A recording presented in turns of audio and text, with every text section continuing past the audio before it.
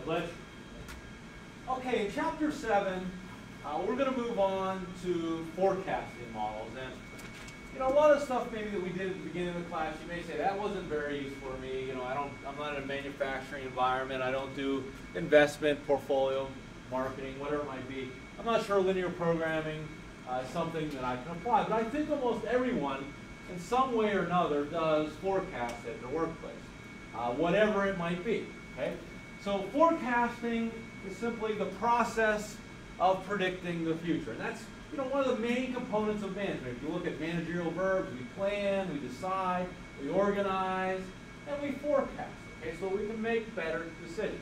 Okay, almost every business enterprise uh, uses forecasting. Manufacturing firms forecast demand for their product. Service organizations forecast customer arrival patterns. Uh, forecasting, uh, you know, security analysts forecast you know, what's the earnings per share going to be of a certain stock for the next quarter or the next year. Uh, we look at economic forecasts, housing starts, changes in gross, uh, gross uh, national profit. All these kind of things are used in the business world. Okay? Forecasting can lead to a lot of positive things. Uh, if you know approximately what your demand is going to be, you can reduce your inventory, you can set appropriate staffing levels, uh, and you can increase the customer satisfaction because, uh, you know, I mean, a good good example of poor forecasting uh, is being played out right now with, with, with healthcare.gov, right? I mean, it's a technical problem, but the problem is they couldn't handle the demand. There's other problems, but that was one of the problems. They didn't forecast properly the number of people that would be hitting that website at once. So that can really decrease customer satisfaction. Um, now, the forecasting process itself can be based on a couple of things. First one is educated guess. Uh, you know, it could be educated based on a lot of different things, but I forecast that uh, the, the, Red Sox are going to win the World Series. Okay, that's an educated guess. Well, they're leading three games to two. Uh, I forecast that the Penguins will win 51 games. Okay, that's an educated guess at this point, right? That's my personal opinion. It can also be expert opinion. Okay? It can be informed opinions, it can be expert opinion. A lot of times when we see economic forecasts, you know, these highly trained economics and economists, they're looking at data, but it's also their expert opinion. From based on what I see, I'm saying this. Or a weather forecast is a good example of an expert opinion. They look at data, they look at you know, low pressure systems and high pressure systems, but they also apply their knowledge and expertise to come up with your forecast. And sometimes it's good and sometimes it's bad. What we're going to focus on in this class is we're going to look at past history of data, also known as a time series. Because a lot of times, not always, we can't, we can't totally rely on it, what data has done in the past is a good predictor of what will be done in the future. Okay? We use this model a lot of things, like credit scores, you know, how you paid things in the past is a good predictor of how you're going to pay things in the future. Um, how you perform as a student in high school is probably a decent predictor of how you're going to perform in college, right? And same thing with, with on a job. How you perform in college is usually a pretty good predictor of how you're going to do on the job. So we look back at time series, and we all have time series. Uh, if we talk about, for instance, the most important revenue generating component for us is student enrollment, right? So we have, going back 20, 30 years, there's a spreadsheet of how many first-time incoming freshmen came to St. Francis University. We have a spreadsheet that says over the last 15 years, I can't remember how old the MBA program is, but it's about 15 years old, I think maybe older, probably older, maybe 20 years old, uh, how many MBA students we had enrolled in the program, right? And we use that to try to forecast forward. Okay, you may have sales, you may have uh, how much we use in expenses, you may have you know, how much mileage we traveled, whatever it might be. But there are four distinct components of a time series. Not every time series has each one of these things, but let's talk about each one. The first one is what's happening over the long term. We talk about long-term trend. A lot of times we see time series, which are usually denoted, by the way, via a line chart. Maybe they're going up and they're going down, but over the long haul, they're exhibiting an upward trend or a downward trend. Uh, and these trends can also be linear, they could be uh, exponential. But if you see something that looks like this, you know, it's going up and it's going down. But over the long haul, it's generating, looks like a positive linear trend. Okay, we've seen negative. So long-term trend is, you know, it can also be stationary. It can be going up and down, but you know, it's it's really stationary over time. We don't see a long-term trend. So what's going on over the long term? Now it's typically modeled as linear, and that's what we're going to focus on, meaning a line, a quadratic or an exponential function, you know, which have you know more more severe slopes uh, the longer we get out in time. But we're going to focus on linear. So that's one component. The second component, I'm sure you've seen before, is called seasonal variation. Seasonal variation is any repetitive pattern that is tied to a calendar, okay, tied to a seasonal calendar. Uh, we see this in a lot of different fields. Uh, pool cleaning, right, uh, this area. Uh, lawn care services. Retail, right, they, Black Friday, right, where, where, where all their sales come in November. They, they ramp up because they can predict that. They know we're going to be busy in, in November for the Christmas season. Um, when does St. Francis get busy? We know it's seasonal, right? I'm sure Smith Myers does less business, I'm sure, in the summer months. Maybe LPG does a lot less business in the summer months, IVP, so it's seasonal, tied to the calendar.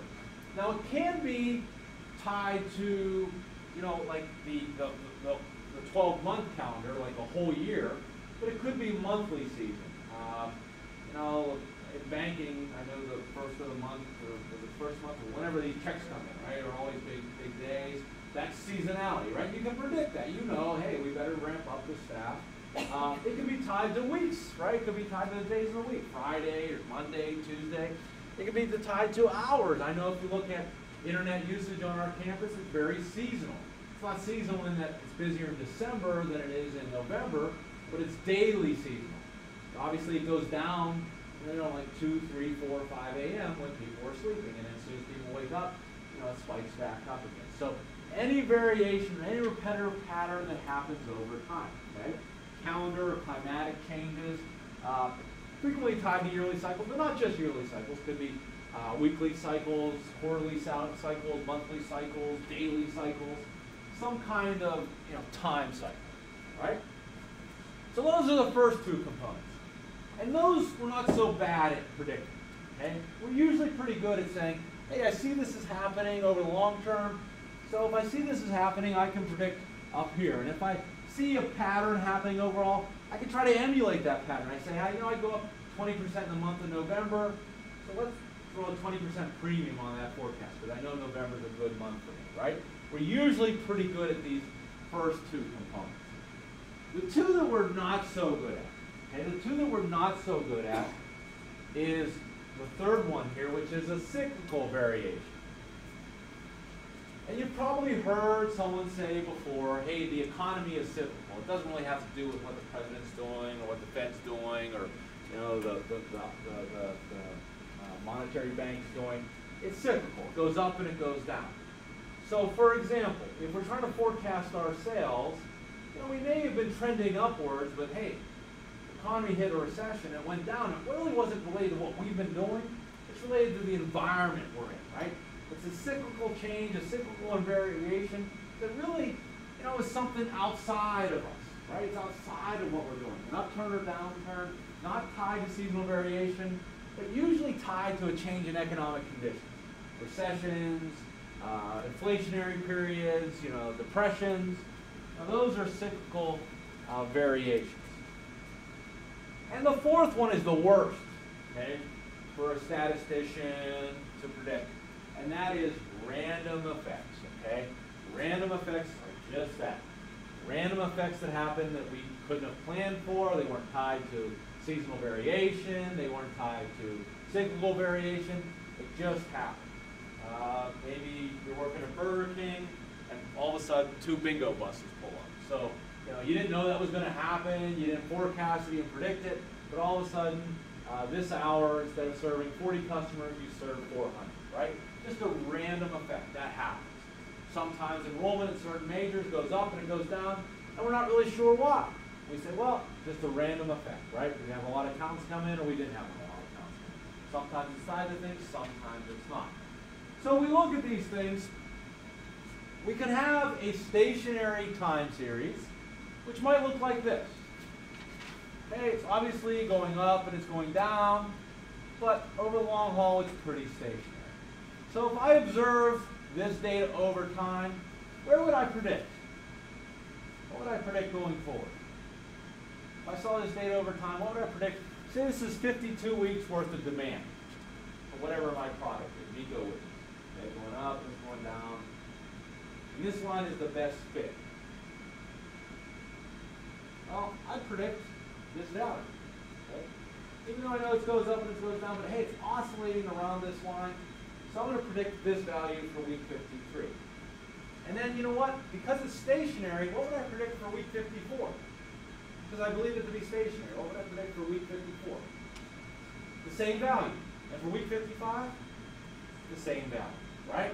Now, if I have something that exhibits long-term trend, like maybe positive linear trend, you know, it's going up and it's going down, but boy, this thing definitely over the long haul is headed upward.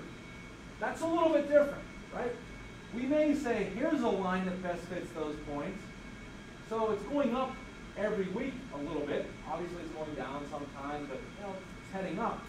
We're going to use that line to predict the future. And what we predict for week 53 is going to be lower than what we predict for week 54, and what we predict for week 55 and week 56. we think that trend is going to continue. If it happened in the past, we believe it's going to continue. Now, sometimes we have both linear trend and seasonality. Okay, this one's heading up for sure, but we can see repetitive patterns presenting themselves. You know, kind of bellies out here, then it spikes and plateaus and peaks again. And we can see that same pattern playing out here. So it bellies out, it's, you know, it, it spikes, it plateaus, and it spikes again. We see that pattern being, so if we map these months, maybe this is, I don't know, maybe this is this is February, and then March gets warmer, people start golfing again, and then you know March is kind of dodged because people are you know St. Patrick's Day, and then you know April's big, whatever. Okay, so if we start mapping that out and saying, hey, this seems to be a trend in this month or this week or this day, we can start to see this. Now, what we do for that is we predict, we try to smooth it out as much as we can, but then we use the long-term trend, but usually apply a seasonality, seasonal adjusted factor. Have you ever heard like the unemployment rate adjusted for seasonal inflation or seasonal unemployment. You know, that's what they're saying. They're saying, hey, it's just because this time of year people aren't looking for jobs or people are, you know, unemployment rate's down because it's Christmas time. Okay? So they adjust for that. Okay, so that's what we're going to do. All right, so how are we going to do uh, these forecasts? Well, we're going to use Excel.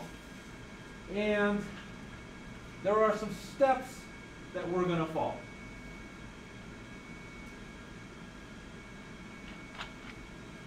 The first thing we're going to do is we're going to go and take a look at the data that we have to this point, whether it's 52 weeks worth of data, 10 years worth of data.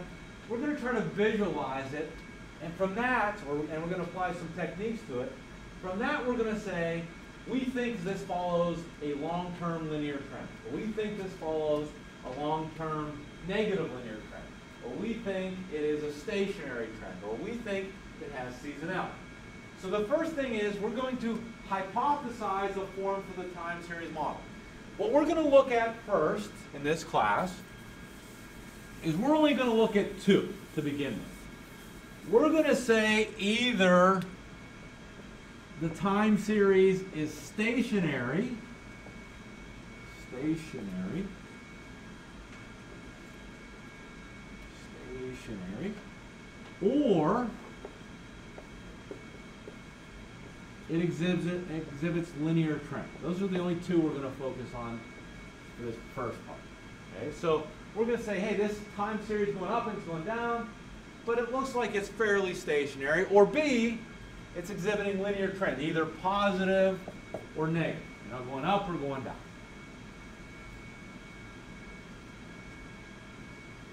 Once we have proved our hypothesis, Then we're going to pick a forecasting technique. Now, when we talk about stationary models, I'm going to teach you four different forecasting. The first one is so easy, I really feel bad teaching it to you.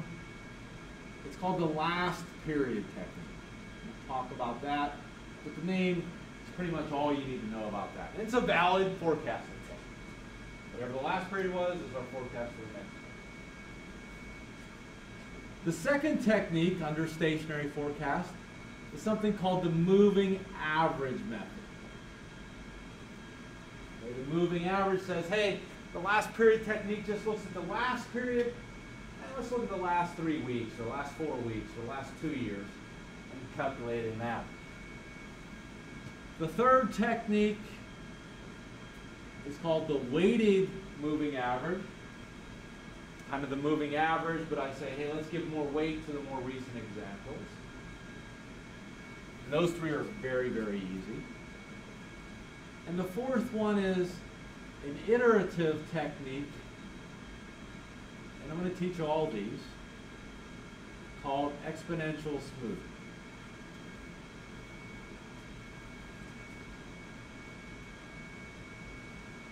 Now, if we say that the time series is linear, there are two techniques, but we're only really going to use one. The first one we can use, which is pretty dominant, is regression, or least squares regression. What line best fits those points? You guys have probably seen that before. Maybe in economics class in an undergraduate class, in our graduate program, perhaps. Maybe in undergraduate stats. And the second one, which we're not going to spend much time with, is something called Holt's technique which is kind of akin to exponential smoothing. They're, they're similar techniques. One is geared toward stationary, one is geared toward, um, toward linear trend.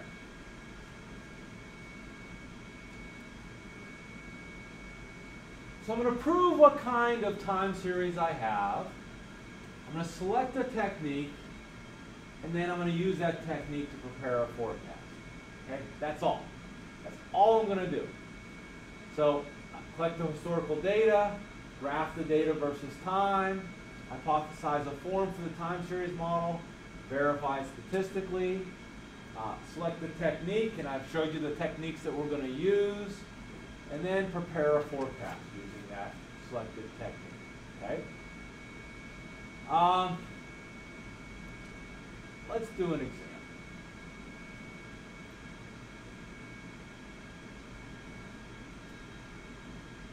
Then we'll come back.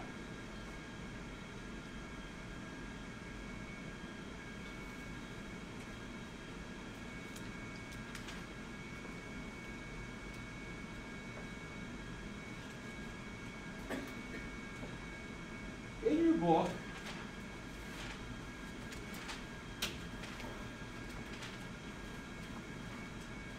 page 393,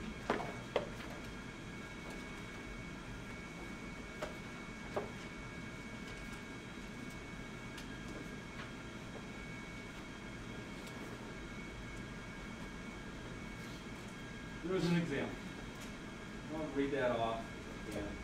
Uh, and then we'll, we'll work with this. I'll, go through the steps we're going to use, one, two, and three. So, Galaxy Industries is interested in forecasting weekly demand for Yoho brand yo-yos over the coming years so it can properly allocate a budget to the division.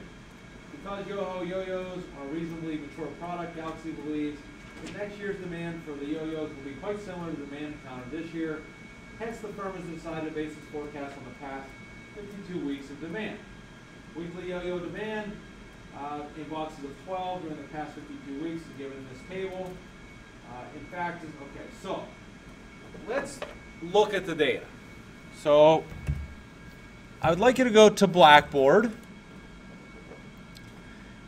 And under chapter 7, go to material by chapter. Under there, go to chapter 7.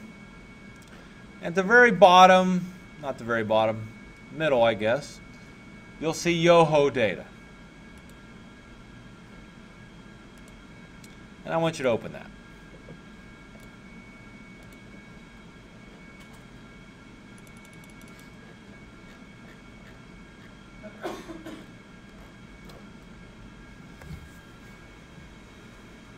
So in week one of last year, demand was 415 for the yo-yos, week two, 236, 348, 272, 280, 395. What I would like to do first is visually look at this to see if I can see any trend or if it's going to go pretty stationary. So a couple things I can do. Uh, it's probably the quickest and the dirtiest, the easiest to just highlight all the data. So A1 down to B53. Go up to insert. And I'm just going to insert a scatter diagram. You see guys see scatter over here? And just the first form of scatter diagram.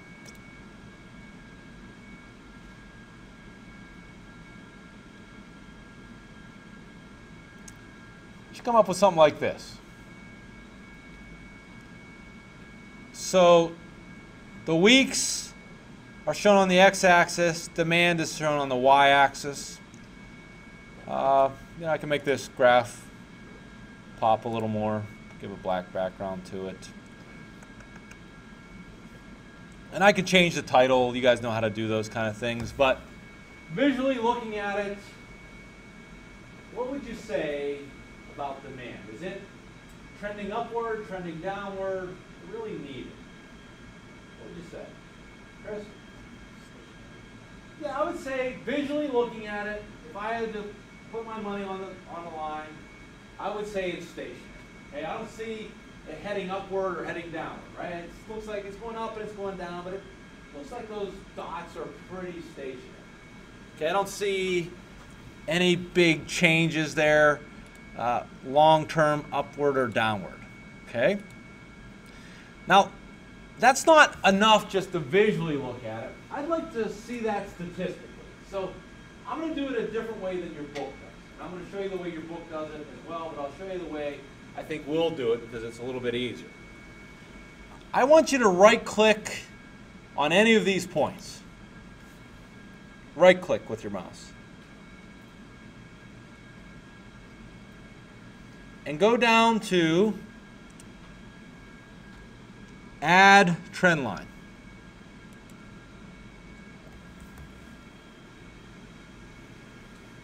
And it brings up this dialog. And let's add a linear trend line. And on the very bottom it says display equation on chart, display R squared value on chart. And I'll talk about what those are in a second. So click those two last boxes. Check those on. And then click close.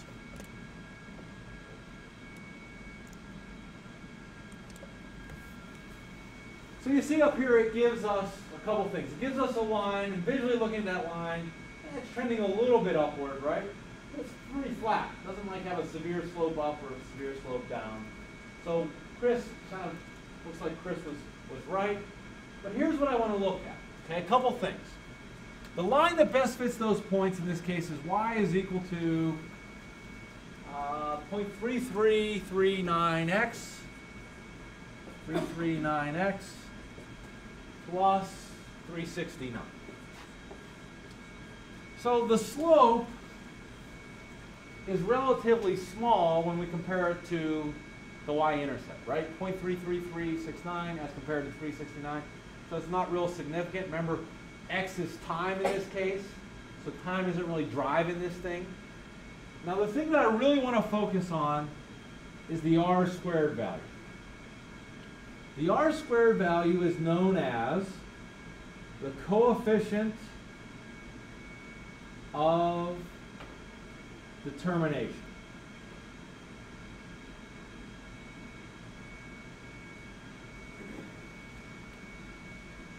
And it is the percentage of the movement of the y value that can be determined by movement of the x value. It's always between 0 and 1 because it's a percentage. It's always between 0 and 1. It is the percentage of the movement of the y value, in this case the demand, that can be determined by movement in the x value, in this case time. My r squared value here is 0.0027. So about a quarter of 1% of the movement of the y value is determined by time. If this was trending upward, time would have a much bigger factor in that because time is driving it up or time is driving it down. In this case, it's a, such a small number, we're saying, hey, this is stationary. Time isn't driving it up or driving it down. It has very little effect on where it's headed.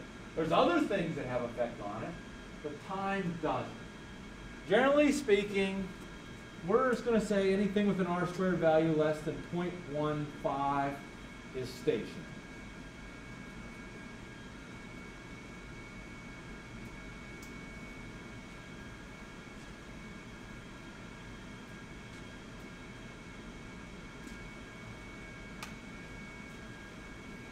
And I want to show you that as opposed to something with linear trends. So I'm going to go to sheet two and just mock up something with linear trends. So I'm going to say uh, this is week and this is demand.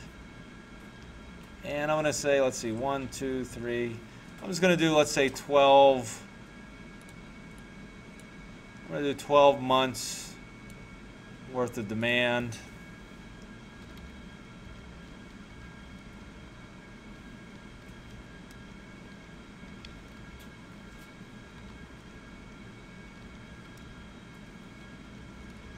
I'm making up values.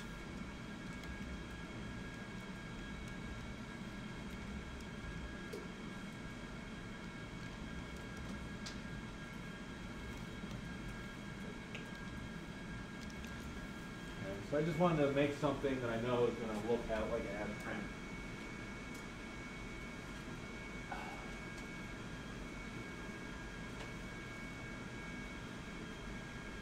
So when I have the data entered in, let's do that same analysis. Let's take that data, A1 through B13, insert, scatter diagram, boom.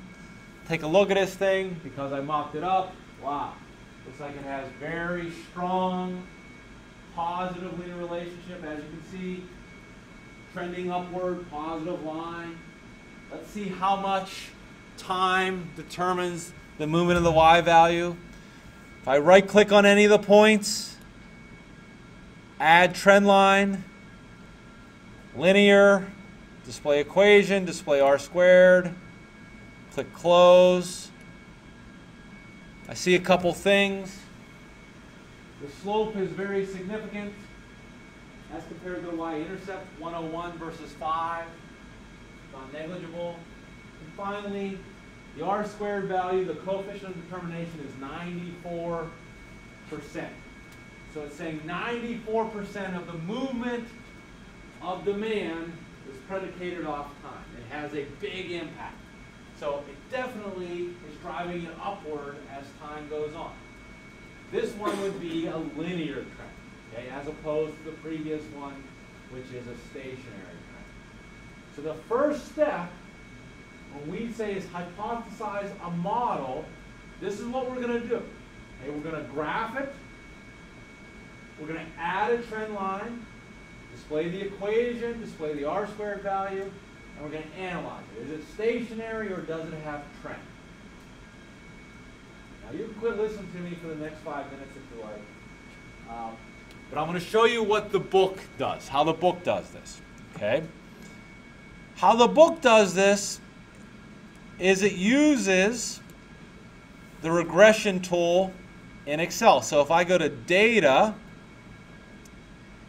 data analysis, regression, and it's asking where my y values are. And my y values are the demand. It's asking where my x values are, and my x values are the weeks.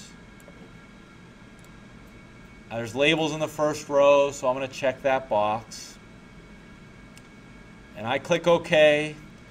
And it does a regression analysis. And you're going to see some of the same things you see up here, you're going to see in what we did. Okay? It has a slope, you can see 3339, and an intercept, which you see. Uh, it also has An r squared value up above, which is the same or very similar r squared value to what we saw 0.0267. What your book tells you to look at to determine if this thing has slope is a p-value. You guys remember p-value? Stats? Weekend? Okay. A p-value says, what's the chance if I make this claim I'm wrong? So we're trying to prove, when we do a regression, that the slope is not equal to zero. And the p-value here, and I want to look at the, the period one, is 0.71601. So it says, if I try to prove that the slope is not equal to zero, meaning it has some trend, there's a 72% chance I'd be wrong if I made that claim. On the rule of statistics, 72% chance of being wrong, you don't go, you don't leave the house? We're looking for p-values. If we want to say that it has trend, we want to make sure the p-value, the chance of us being wrong when we say that, is less than 5%. So if this value is less than 0.05, we can make that claim, that it has linear trend. Because it's not, we say, hey, it's stationary, which is the same damn thing we did said when we did it my way, right? I'll show you with the other one, the other data set. Just do a regression analysis on that real quick. Data, data analysis, regression. I want B1 through B13, A1 through A13. I click OK. And you can see this p-value in this case. is very, very small. Point zero zero zero zero zero zero one seven three. That's one point seven three times ten to the negative seven. So it's saying there's almost no doubt that this thing has linear trend. Okay, there's there's overwhelming evidence that this thing has linear trend. Now what I just showed you with the regression, if you read the book, that's how the book teaches you to do it. You don't have to do it the way the book does. You can do it the way I to do it. Whichever you prefer. You can do it this way or that way. It doesn't matter. This, I think, sends the, I taught this way for the first couple of years, and students weren't getting it, so I switched it. Okay, so you can either add trend line, do it my way, or you can do it the book's way. But this is saying the, the slope's not equal to zero, there's a lot of evidence, right? Less than 0.05 and it's very small. All right, so uh, we're going to take a break here. All we've done to this point is look at the data we have and say, is it stationary or is it linear trend? When we come back, we'll take like a 15 minute break. When we come back, we're going to go over some techniques once we know it's stationary and some techniques we'll use once we know it's linear trend. All right? All right.